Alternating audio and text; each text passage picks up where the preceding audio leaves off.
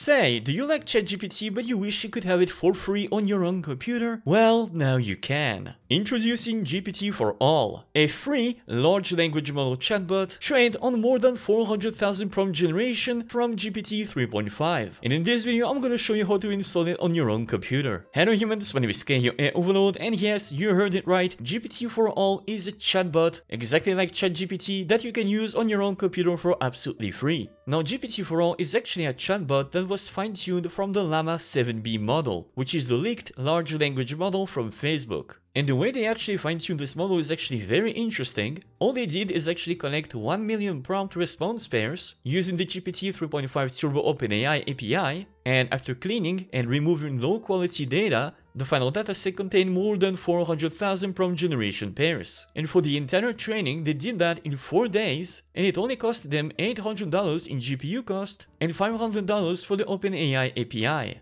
which is actually very cheap. Now what's really great with GPT4All is that this is by far one of the easiest model to download and install on your own computer. And you can actually install it on any OS that you want, on Mac, Linux and Windows. Now the only downside is that as of right now it doesn't really have a UI, so everything is done inside the command prompt window. But since this project is fairly new, this is something that might come in later. And also what's really cool is that you also don't need to have a very powerful computer to be able to run this, because everything actually runs on your CPU. You don't even need a powerful GPU to be able to run this, and that's really really cool. Okay, so that being said, let's actually start the installation. Okay, so before we start the installation, make sure that you have git installed on your own computer, if you haven't done it already, Otherwise the git clone command will not work, because what you're gonna do now is you're gonna create a brand new folder on your computer. So right click, new folder, and I'm gonna call mine GPT4All. And then inside that folder, I'm gonna click on the folder URL, type cmd, press enter, and then in the command prompt window, you're gonna copy and paste this command that you will find in the description down below. And then you're gonna press enter. And what this command will do is that it will actually clone the repository onto your computer,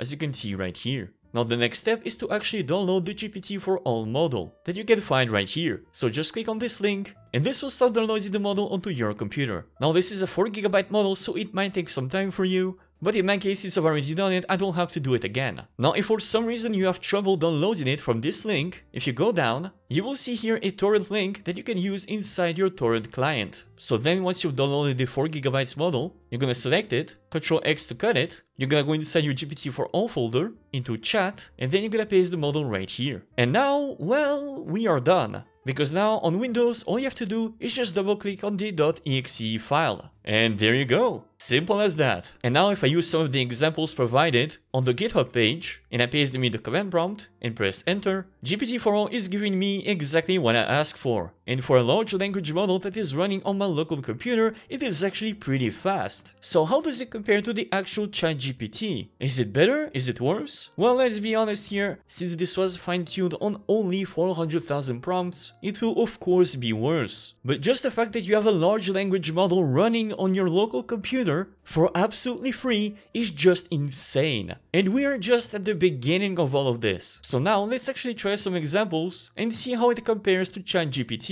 So for example, if I ask, write me a short story about a penguin going on a vacation in Australia and making friends with the locals, if I press enter, and I got something like this, which I'm not gonna read everything because it's very long, but it is actually a pretty good story about a penguin called Quentin that indeed went on vacation in Australia and made friends with the locals. I mean, that's exactly what I asked for. And now if I write the exact same thing in ChatGPT, I actually got a very similar sounding story about a penguin called Penny that went on vacation in Australia and made friends along the way. And to be honest with you, I wouldn't be able to tell you which one is really the best one. There are very similar stories written in a very similar way. Now one thing that I would like to know is if GPT4All has memory just like ChatGPT. Because for example, if I ask here, what is the name of the penguin? ChatGPT answers me that the name of the penguin is Penny. And now if I ask the same question in GPT4All, if it has memory, it should say that the name of the penguin is Quentin. So if I press enter, and indeed we got a good answer. The penguin is named Quentin. So yes, GPT4All does have memory. So it's not a simple chatbot that doesn't remember the previous conversation. So that definitely opens way more possibilities. So now let's see if GPT4All can actually code a very simple web page. Because for example in ChatGPT, write me the code for a web page where there is a button that when pressed changes the color of the background page to a random color. And if I press enter,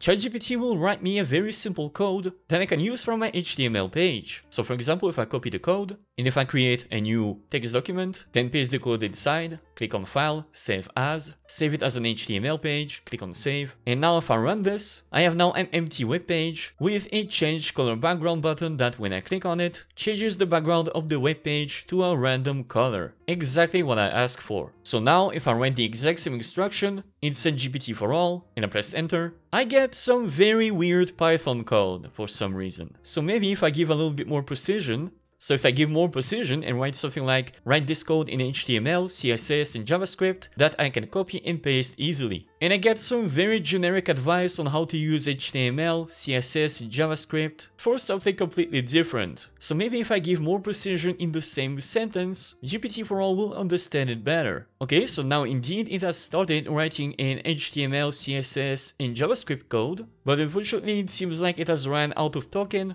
and it did not finish the code. So maybe if I write something like continue, it is telling me that the command is not recognized by Python, and then it says some things that are absolutely nothing to do with my code. So it's a little disappointing, but unfortunately I think that GPT4All is not really the best coder. So yeah, as you can see as of right now, GPT4All is very limited compared to something like ChatGPT. Now you can still do a lot of cool things, especially when it comes to writing or brainstorming. So for example, if I ask something like, give me startup business ideas, and this is what I get, here are some potential startup businesses you could consider starting up, and this is some startup business ideas that I get, online marketplace for secondhand goods, personalized nutrition service, and some apps to help people organize their lives. So yeah, there you go, not bad. However, keep also in mind that since GPT4All was trained on ChatGPT prompts, sometimes it might refuses answering a very simple question. Like for example, if I write, give me some name ideas for my new business selling fish, for some reason it refuses to answer the request. So yeah, sometimes GPT4All is very weird, where it completely refuses to answer a very simple question, like giving me simple name ideas for my new business selling fish, and it will of course refuses to answer an illegal question,